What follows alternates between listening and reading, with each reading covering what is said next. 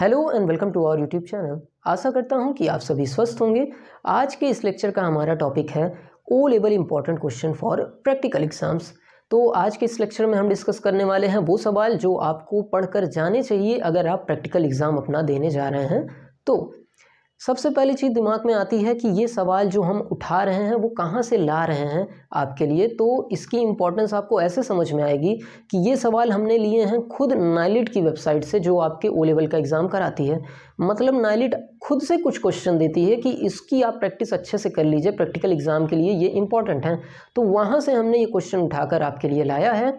दूसरी चीज़ जो समझने वाली बात है कि क्वेश्चंस तो हम लेके आ रहे हैं, फिर हमने सोचा किस तरीके से आपको डिलीवर करें। तो सबसे पहले हमारे दिमाग में आया कि हम एम की एक वीडियो लाएँ, उसमें हम क्वेश्चन डिस्कस करें, उसको आप नोट कर लें और फिर उसको पढ़ें। फिर एम टू की लाएँ। इसमें हमारे चैनल का तो काफ़ी फ़ायदा हो जाता कि चार वीडियो बन जाती।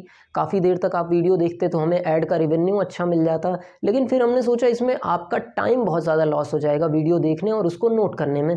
तो हमने क्या किया? हमने क्वेश्चन अच्छे से पिक कर लिए हैं उसको अच्छे से लाइन से बना के पीडीएफ में बदल दिया है और उस पीडीएफ को आपको दे दिया है यहाँ वीडियो के डिस्क्रिप्शन में। वहाँ पे अगर आप एम का पेपर देने जा रहे हो तो एम की पीडीएफ डाउनलोड करके क्वेश्चंस ले सकते हैं। एम के जा रहे हैं तो एम के ले सकते हैं। थ्री के जा रहे हैं थ्री एम के जा रहे हैं तो एम की पी डाउनलोड कर लीजिए और उन क्वेश्चन को अच्छे से पढ़ लीजिए। इसमें हमारा रेवेन्यू तो घट जाएगा, पर आपकी काफ़ी कीमती टाइम जो है, वो बच जाएँगे। कम से कम घंटों की मेहनत आपकी मिनटों में हो जाएगी। अब ये क्वेश्चन आपके हाथ आ गए हैं तो आपको क्या करना है? इन क्वेश्चंस की अच्छे से प्रैक्टिस करनी है। उसको गूगल पे आप ढूंढ सकते हैं। फिर भी अगर नहीं समझ में आ रहा है तो कमेंट सेक्शन में कमेंट करिए। हम उसको सॉल्व करके भी आपको दे देंगे। अगर हमारा ये तरीका आपको पसंद आ रहा हो, हमारी मेहनत आपको दिख रही हो तो इस वीडियो को लाइक कर दीजिएगा और चैनल को सब्सक्राइब कर दीजिएगा। मिलते हैं किसी और लेक्चर में। धन्यवाद।